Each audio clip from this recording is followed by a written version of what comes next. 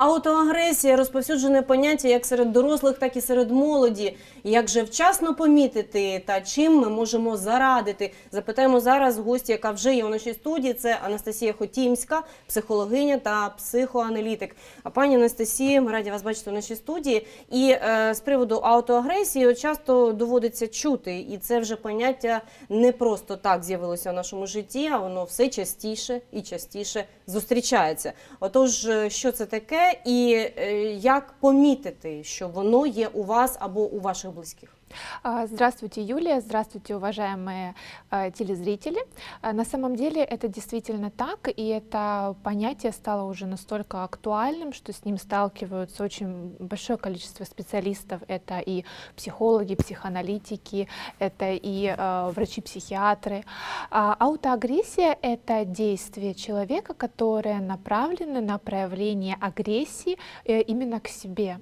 Это очень широкое понятие, давайте разберемся с ним, потому что э, есть также еще его слово синоним, это self-harm, которое очень популярно среди молодежи, среди подростков, в различных социальных сетях, все-таки очень э, много говорят об этой проблематике.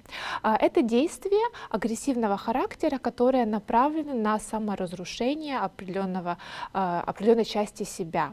А, Это может проявляться как в физическом увечье, Например, а, люди могут кусать э, различные части тела, а, люди могут бить себя, люди могут царапать себя, люди могут э, а, резать различными предметами, да, это могут быть несколько э, маленьких царапин, либо же это могут быть очень серьезные физические увечья. Также люди могут попросить другого человека побить себя по какой-либо причине.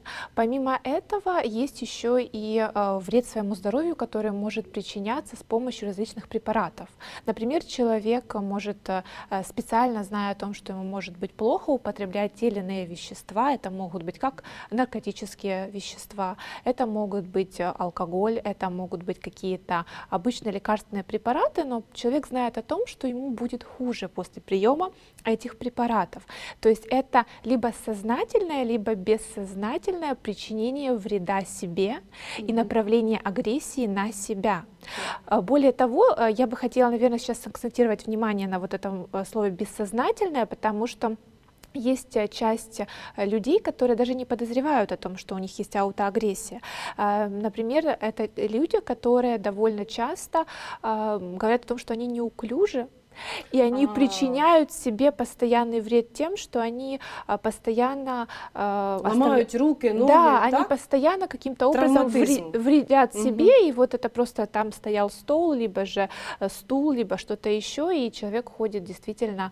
а, В синя- в синцях. Да, он ходит в А- Але гематомах. ж, але ж знаєте, може і справді людина не помітила, що там де щось стояло. Чи це повинно повторюватись якимось А, чином? Конечно, и действительно, если это произошло один раз, э, мы не можем абсолютно а, полностью полагаться на бессознательный аппарат. Все-таки это может быть случайностью. Но если это происходит систематически, э, если это происходит всегда, и если это становится частью жизни, жизни человека, на это стоит, правда, обратить внимание. І ще така ремарочка. Ну можливо, знаєте, люди зараз впізнають себе, вони поспішають, наприклад, Мгм. так, і е, можуть не помічати, що поблизу гострий стіл. Чи це, наприклад, незнайома е, місцевість, і людина просто с- може зіштовхнутися з чимось, чи може просто е, натрапити на будь-яку небезпеку. То це теж можна вважати. Тобто, це таке життя, життя, стресове життя, яке призводить до подібних ситуацій. А Мы должны понимать, что аутоагрессия — это систематическое повторение этого действия. Так, систематично. Воно можливо через деякий час повторювати, повторюється у цієї людини.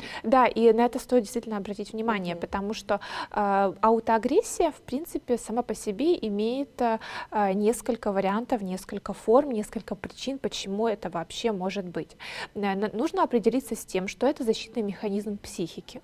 Э, И в первую очередь психика защищает нас от того, что есть реальная агрессия у человека на какой-либо объект, то есть на какого-то реального человека извне. Э, Например, это может быть его близкий родственник, это может быть его партнер, его любимый человек. Но эта агрессия э, не э, осоз- осознается, эта агрессия вообще не принимается в психике по разным причинам. Э, Например, человек так любит э, э, своего партнера, либо же своего близкого, своего родителя, или своего ребенка, что он считает, что он не вправе злиться на него, он не имеет права выражать агрессию. В таком случае агрессия перенаправляется и направляется уже э, на свое собственное На себе. тело. Тобто Да. я не можу тебе бити, не можу е, причинити тобі будь-який будь-яку шкоду чи зло, чи будь-що, так? І тоді я можу зашкодити собі. Э, На самом деле не только бить, э, э, человек просто не может высказать даже вербально это словами, он не может сказать «я злюсь на тебя», «мне не нравится твое поведение», а, «меня раздражает то, что ты делаешь, то, что ты делаешь, причиняет мне боль, перестань Мгм. это делать». А, Это действительно так. Если э, мы разделим на самом деле, наверное, аутоагрессию на три таких Первопричина, я бы вот так сказала. А, Первым фактором я бы выделила, наверное, такой невротический, истерический компонент. А, Это а, поведение людей, которые, причиняя аутоагрессию, да, занимаясь аутоагрессией, либо причиняя себе какой-то вред, они демонстрируют это. То есть они хотят так либо иначе, чтобы это заметили. Зверніть увагу. Да, э, но это происходит не потому, что человек в открытую манипулирует. Это происходит по причине того, что человек не знает, как сказать о своих чувствах. Он хочет, чтобы э, это заметили, чтобы задали вопрос, что происходит. Может быть, тебе нужна помощь, может быть, тебе сложно, тебе тяжело. Я могу как-то тебе помочь сейчас в этом. А, Это действительно проблема.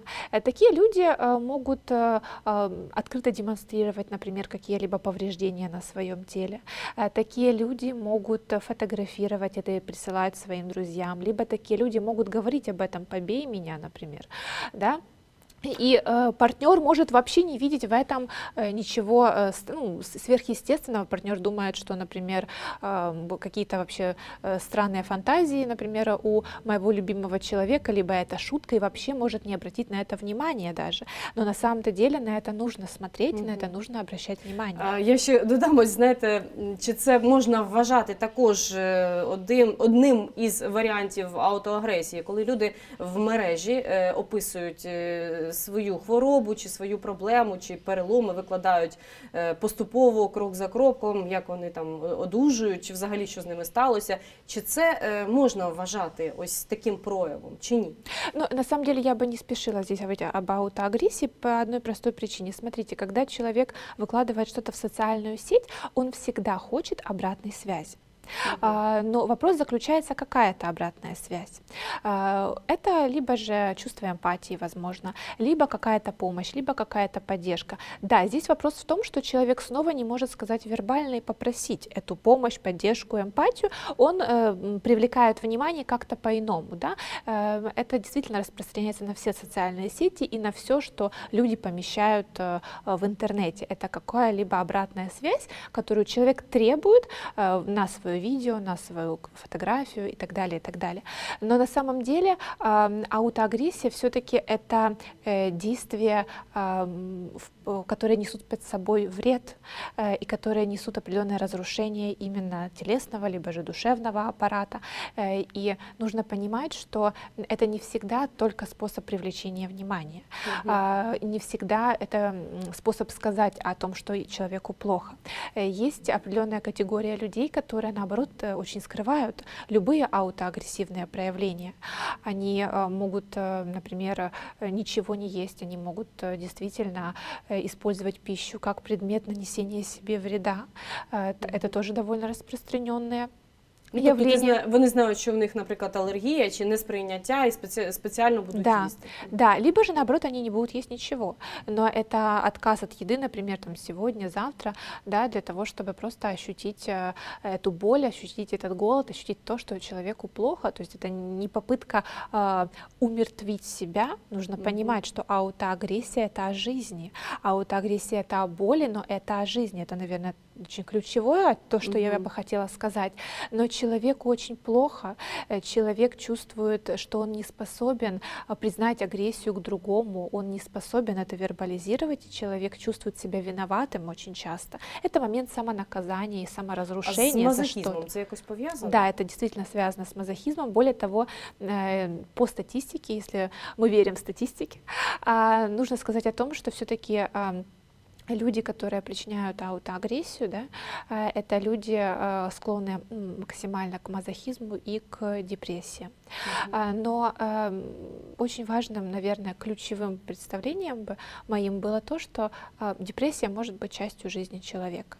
Э, Но это не вся жизнь человека. И аутоагрессия это не вся жизнь человека.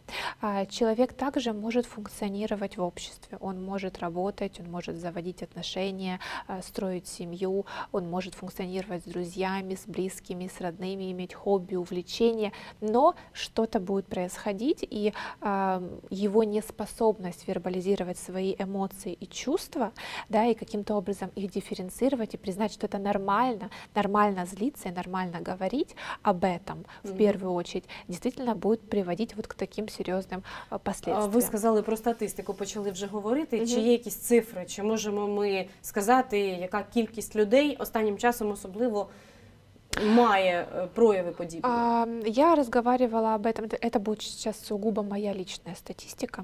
А, Я разговаривала об этом с коллегами, а, это было где-то неделю назад, и мы обсуждали, какое количество клиентов в терапии имеет аутоагрессию. Это более 75%. Ну, це А, багато. То есть это ам, действительно большой показатель. Это либо люди, а, которые а, на данный момент в терапии, либо же человек говорил о том, что у него ранее в подростковом периоде, например, была аутоагрессия. Вообще э, подростковая аутоагрессия или аутоагрессия у взрослого человека отличается только тем, что э, у подростков она может проявляться несколько ярче, э, и он может в невротическом компоненте это демонстрировать именно по причине несформированной структуры психики Мгм. потому что она просто еще не сформировалась. В 18-21 год это тот период, когда заканчивается формирование психики, и Нужно сказать, что именно в подростковом возрасте э, человек э, учится и обучается э, именно контролировать свою агрессию и каким-то образом овладевать ею. Если есть с этим а, определенные проблемы с вербализацией чувств, конечно, эта агрессия э, будет выходить и направляться на себя. А що треба робити? Ну, ми зараз розібрали вже так досить е, серйозно побачили, які є проблеми. 75% з тих, хто звертається, це досить таки Вагомий показник, і треба щось робити. Якщо ми помітили, наприклад, у своїх е, дітях. Такі прояви. Якщо ми бачимо, що дитина там не знаю, так злиться, так нервується, починає рвати на собі волосся, починає себе там не знаю, шкрябати і битись чи щось ще робити, то е, можливо хтось впізнає, можливо, хтось зрозуміє, що таке є, є така ситуація в родині, і треба чимось зарадити. То що робити в такому активному, агресивному стані можна чіпати дитину, чи треба пройти цей шлях? А, ну, Для начала, если мы говорим о каких-то рекомендациях, первое, что я э, скажу, это не обесценивайте состояние ребенка, либо же подростка, да, которое вы видите. Э, Не обесценивайте его, потому что я вот сейчас сказала о том, что это о жизни, и это правда, это действительно жизнь, и это о жизни, это не говорит о каких-то э, суицидальных тенденциях человека. Но э, стоит все-таки подумать о том, что эм, вашему подростку, либо же ребенку ему нужна помощь. И ему сложно хотя бы с вот этой дифференцировкой эмоций и чувств. А, Первое, конечно же, подростку нужен будет специалист. А Это может быть, э, неважно, психолог, психоаналитик, либо же это психотерапевт любого другого направления, это врач-психиатр может быть. А, Но консультация в любом случае необходима. А, Помимо этого, э, я бы рекомендовала все-таки дифференцировать и понимать, что э, то, что происходит с вашим ребенком и подростком, это действительно э, не все, что вы знаете о нем. Это определенная часть его жизни, это проблематика, с которой он столкнулся, и ему очень сложно и очень тяжело. А, Поэтому э, стоит проявить максимально, наверное, максимальную часть эмпатии, которую вы можете дать своему а, подростку, сказать о том, что а, поговорить с ним, да, сказать, Мгм. что э, ты можешь мне что-то рассказать, возможно, тебе плохо, тебе больно, ты сам не понимаешь, ты сам не знаешь причину этого, да, но я верю, что ты разберешься. Если ты хочешь мне что-то сказать, если ты можешь на меня злиться, вообще я рекомендую всем родителям разрешать э, детям злиться на себя, потому что это хорошая профилактика аутоагрессии. А як, як їм дозволяти? Ну тобто, нехай вони Е, Ну, до речі, можуть же діти сприймати як завгодно. Одна дитина спокійніша, вона не буде е, нічого поганого там. Ну я маю на увазі е, великої агресії, наприклад, проявляти до вас. А інша дитина може і проявляти. І Э, то да, як тоді? но э, агрессия всегда э, адекватная, когда она сублимированная, то есть когда она оккультуренная. Да? А в Мгм. культуре у нас сублимированная агрессия это какая? Вербальная. Э, Когда мы можем сказать о своих чувствах. А Физическая агрессия это не сублимация, безусловно, это уже э, действительно Прояви э, вже так, да, это, серйозні. это уже агрессивное поведение, да, но сама по себе агрессия это, в принципе, первичное влечение любого человека, и это абсолютно нормально. А с агрессией мы встречаемся всегда, ее сублимация это замечательно. А, но э, я рекомендую тогда сказать своему ребенку, подростку, вообще вне зависимости от того, вы замечаете за ним проявление аутоагрессии или нет, а если э, тебя что-то не устраивает, если ты злишься, если ты расстраиваешься, если какие-то мои действия огорчают тебя, скажи мне об этом, пожалуйста, я хочу тебя услышать. Скажи мне об этом, э, наверное, э, открыто, честно, и скажи мне о своих чувствах.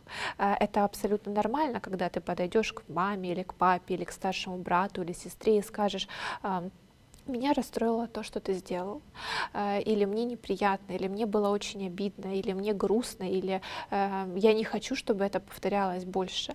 Ну, це Це- добре, якщо діти так навчені, якщо вони можуть так сказати. А переважно зараз ми чуємо від дітей ненавиджу, ну і так далі. Тобто від слова ненавиджу вже з'являються похідні, е, які справді розповсюджені останнім часом. Е, Коли виховували е, покоління батьків, Мгм. е, то такого слова взагалі не приймалося. І якщо хтось із дітей підходив до батьків і подібне щось говорив, то, то все це були неприємності. І взагалі з такою дитиною могли і не спілкуватися, наприклад, Мгм. чи могли взагалі дуже суворо з нею е, поводитись і в чомусь забороняти і так далі. То як бути сучасним батькам? Чи їм треба дозволяти якісь речі, які для старшого покоління просто не ну взагалі вони несумісні з їхнім моральним принципом? А, Смотрите, эм, ранее да, э, слово ненависть не воспринималось по причине того, что не было э, такого понимания и представления, что ненависть и любовь, собственно говоря, это действительно разные, мани- разные стороны одной медали. А, Когда ребенок, либо же если это подросток, это, конечно, очень печально, говорит только я ненавижу, а, это будет говорить о том, э, что, скорее всего, в его психике не происходит дуальности, то есть он не понимает, что он и любит, и ненавидит одного и того же человека в равной степени, он просто на него злится. Поэтому он говорит такие эмоциональные фразы. А, Но для того, чтобы э, подросток был эмоционально устойчивым, эмоционально устойчивым должен быть взрослый. То есть ни один взрослый не сможет э, обучить либо помочь ребенку овладеть агрессией, если он не овладевает ею. Поэтому здесь, конечно, стоит обратить внимание еще и на свою собственную агрессию, на то, насколько взрослый человек, потому что агре- аутоагрессия и у взрослых очень популярна, Мгм. насколько вообще взрослый может свою агрессию проявлять. Ну так, щоб не було так, що дитина звертається, дорослий бачить, що з нею відбувається, і повторює те ж саме, але в іншому варіанті. І, і тоді треба як дорослого, так і Дитину лікувати. І що робити в такому випадку, справді е, це, мабуть, неможливо. Треба, щоб е, займалися спеціалісти вже як дитиною, так і дорослим. Чи часто так буває, що передається е, якимось чином в родині, е, у дитини і у батьків е, ті ж е, самі прояви? А, Да, это действительно так, но это вопрос не генетики, это вопрос именно аспекта воспитания, потому что если э, человек с определенной структурой психики воспитывает э, ребенка э, при всем желании, например, если он имеет какую-то невротизацию, он может действительно, эта невротизация, например, она действительно может влиять на ребенка. Но я вам хочу сказать о том, что, знаете, современные подростки и, в принципе, современная молодежь, они невероятно, невероятно хотят работать над собой. А, Вот, э, знаете, можно много всего сказать и применить по отношению там, к подросткам, к поколению, к молодежи. Так было всегда и так всегда будет. Но их желание м, помочь себе, им- их желание, а, их желанию, наверное, работать над собой, действительно можно только восхищаться и восторгаться. Это действительно Е, так. Тоді наостанок вже е, Анастасія хочеться так розбити по пунктах і можливо зробити такий висновок. Що ж потрібно зробити для того, важливо, щоб е, цілісною була картина, щоб аутоагресію, якщо ми навіть її помітили, ми вчасно е, зреагували і е, зробили все можливе, щоб наша аутоагресія не проявлялася, або можливо якось інакше проявлялася. А, Наверное, давайте подытожим на несколько пунктов. Первым пунктом я бы хотела сказать это все-таки уважение именно к своим чувствам, это дифференцировка своих чувств, да. Э, Вторым пунктом это а, возможность проявлять вербально свою агрессию, да. И третьим пунктом это если вы э, замечаете это у кого-то из своих близких, пожалуйста, подходите и говорите о том, что вы рядом, вы способны помочь, вы способны услышать, и человек может обратиться к вам за помощью. Я вам дуже дякую, пані Анастасія. Справді такі цінні і потрібні поради для нас усіх прозвучали. І таку е, аутоагресію ми е, дедалі частіше зустрічаємо. На жаль, вона є у нашому суспільстві. І треба точно знати, якими ж механізмами ми зможемо спрацювати, аби допомогти і собі, і тим людям, які поруч. А Тож е, хочеться, щоб всі ми з вами були здорові, врівноважені, щоб наше життя переповнювалось радістю. Тож будемо чекати на вас вже завтра о 13.30. До побачення.